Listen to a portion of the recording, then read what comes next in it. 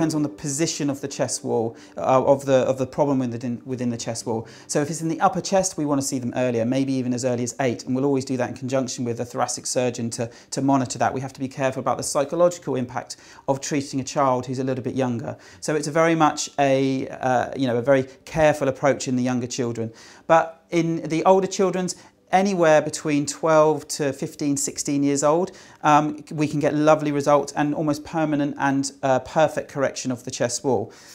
In the older patients, um, and I'm talking about the 20 year olds and even going into the 30 year olds, if there's flexibility, we can get results. We, but it takes a lot longer, it's more painful, it's more difficult to manage in your work, which is why compliance drops off with your older patients. But it is worth having a chat with us and we can let you talk to other patients about how their experiences and their results that they've achieved in the older category.